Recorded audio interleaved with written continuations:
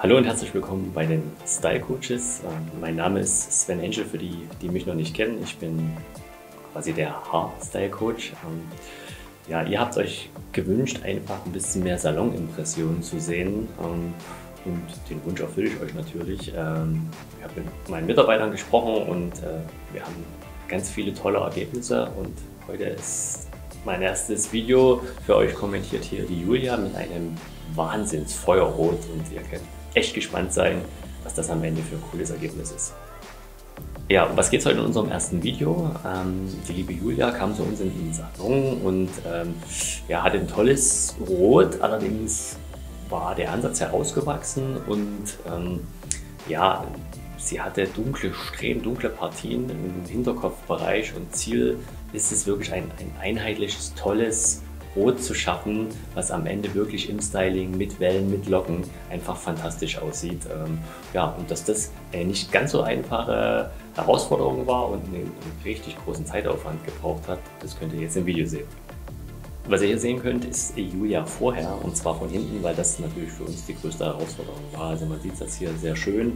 Ähm, Julia war irgendwann in ihrer Ausgangsfarbe dunkelbraun-schwarz. Das Haar ist ja, eher semi-professionell aufgehellt worden. Ähm, Ansätze und teilweise die Längen sind schon sehr gut blondiert worden, heller gefärbt worden.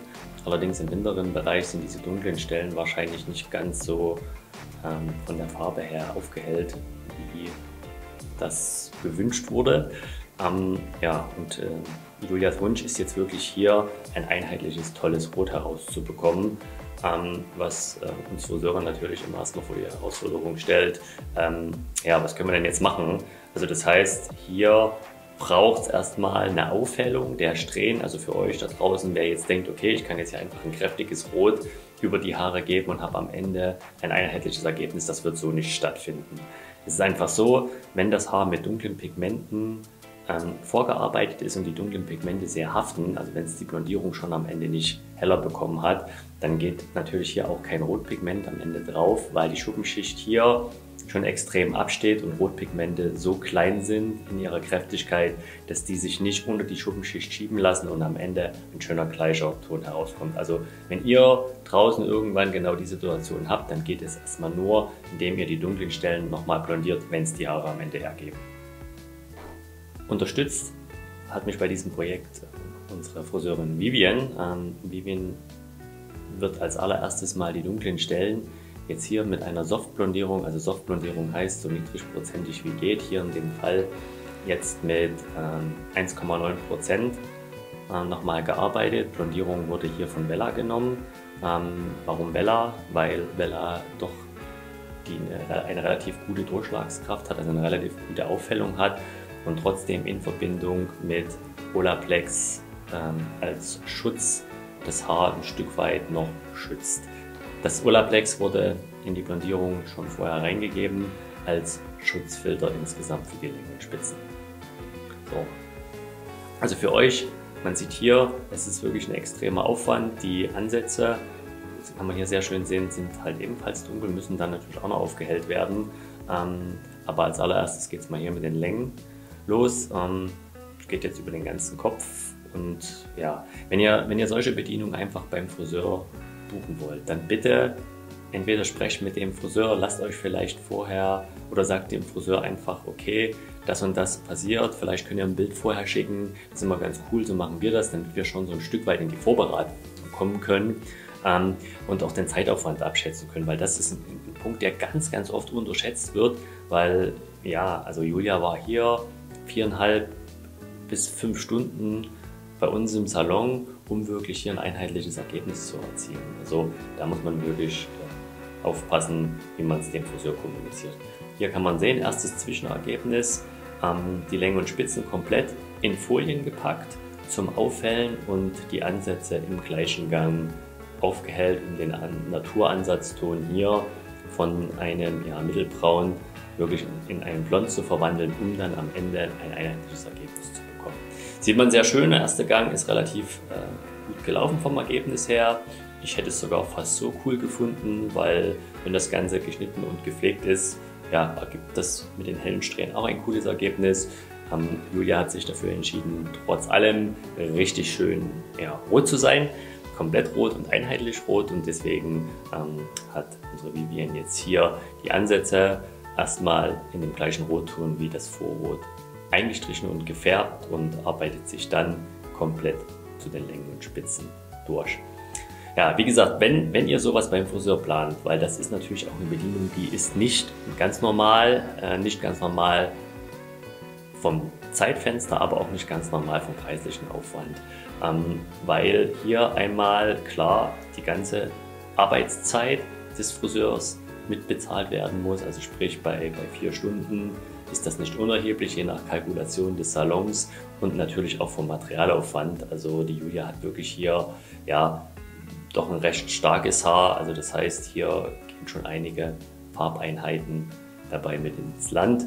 Äh, und deswegen ist der Preis natürlich nicht unerheblich. Ähm, ich denke, insgesamt wird man hier so zwischen 300 und 400 Euro liegen mit Haarschnitt und Olaplex als Pflege. Ähm, wobei es hier unerheblich ist, ob es jetzt ein reines Olaplex, ob es jetzt Olaplex ist oder eine andere Spezialpflege. Ähm, bei solchen großen Bedienungen, die wirklich das Haar so dermaßen beanspruchen, ist es natürlich immer wichtig, die Haare im direkten Gang mitzupflegen, am besten dann auch gleich mit dementsprechenden Produkten am Ende wieder aufzubauen, beziehungsweise dann natürlich auch hinterher für euch, ähm, um das Farbergebnis wirklich schön zu halten und die Rotpigmente weiter im Haar zu verstärken, denn hier mit Farbconditioner oder ähm, Farbshampoo am besten und Farbshampoo zu arbeiten, um hier wirklich ein schönes, langes, langhaltendes Ergebnis zu erzielen. Ja, Vivian arbeitet sich durch. Äh, man sieht der Aufwand ist schon ordentlich. Also äh, es geht los mit den Ansätzen, dann zu den Mittelstücken und ganz zum Schluss ähm, auf die wirklich hellen Partien. Ja, äh, und Julias Tochter, äh, die hat das Ganze hier wirklich mit äh, ausgehalten im wahrsten Sinne des Wortes und hat sich das spannend angeguckt und ist wirklich ein ganz, ganz liebes Mädel. Äh, und ja, fand insgesamt anscheinend auch Gefallen an relativ langen Friseurbesuchen.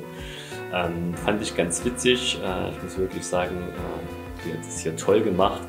Äh, und wie man sieht, man kann auch mit Kind zum Friseur gehen. Ähm, ist immer schön, finde ich, äh, dass auch dann für Mutter hier die Möglichkeit besteht, auch ein Kind mitzunehmen. Ja, einen Haarschnitt gab es natürlich auch. Ähm, ist klar, nach so einer Bedienung ähm, müssen die Spitzen geschnitten werden. Ähm, insgesamt ähm, sind jetzt hier nochmal zwei, Zentimeter gefallen um wirklich eine schöne kompakte Linie am Ende zu haben. Ähm, ich finde immer, äh, langes Haar sollte am Ende auch einen Haarschnitt haben. Also sprich, man sollte auch wirklich sehen, dass die Haare geschnitten sind, weil ansonsten ist natürlich die Herausforderung, dass das Ganze doch schnell ungepflegt aussieht. Ja, Haare wurden getrocknet und vom Styling her hat sich die Julia ja, ein Wellenstyling gewünscht und deswegen ähm, hat Vivian jetzt hier ganz einfach die Haare mit einem GHD-Ketteisen durchgearbeitet und hat hier wirklich eine schöne Welle erzielt. Äh, es sollte nicht ganz so friseurisch sein, also sprich sollte wirklich eher ein bisschen Bewegung sein, leichter gewellt sein. Ähm, und ja, das habt ihr gerade gesehen. Und kleines Special noch ähm, am Oberkopf, ähm, ja, eine Flechtfrisur.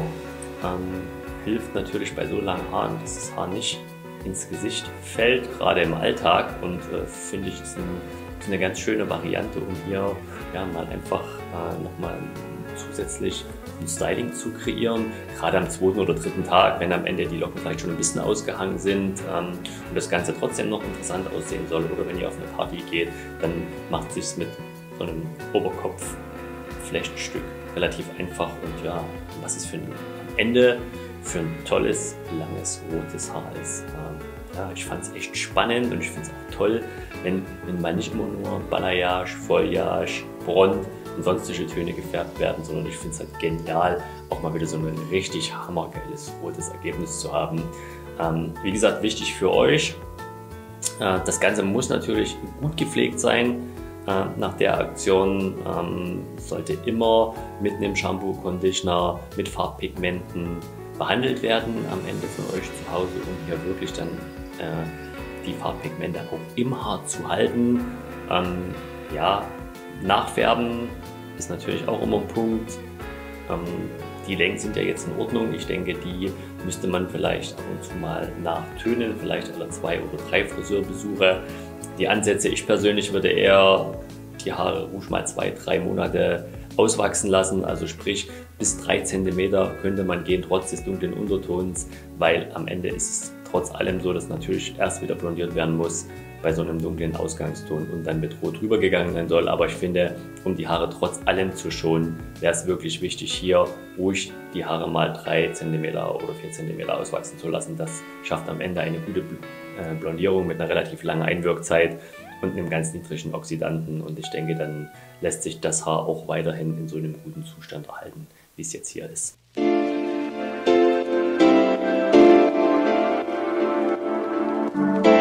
Ja, das war mein erstes kommentiertes Video. Ich hoffe, es hat euch gefallen. Ich hoffe, ihr hattet Spaß dran.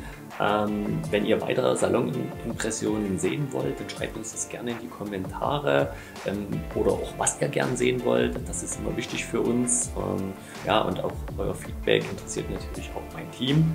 Und ich hoffe, wir sehen uns im nächsten Video. Es wäre toll, wenn ihr den Kanal abonnieren würdet, ähm, die Glocke aktivieren würdet und ja, ich hoffe, ihr hattet genauso viel Spaß wie ich und bis zum nächsten Mal. Vielen Dank. Ja, und ähm, natürlich haben wir für euch schon das nächste Video vorbereitet und äh, da werdet ihr die bezaubernde Laura sehen. Also Laura hat lange, dunkle Haare, ähm, ja, ewig nicht geschnitten und wünscht sich den perfekten Langhaarschnitt wie der aussieht ja, und wie viel ich dann wirklich am Ende die Schere benutzen durfte. Ähm, das werdet ihr sehen. Ähm, und unsere Beauty-Expertin Jasmin hat ein, hat ein kleines Battle gemacht mit Laura, also sprich die beiden haben dann am Ende ähm, nochmal versucht, hier Langhaar-Stylings zusammen zu kreieren. Ähm, auch das ist wirklich cool, ich bin gespannt.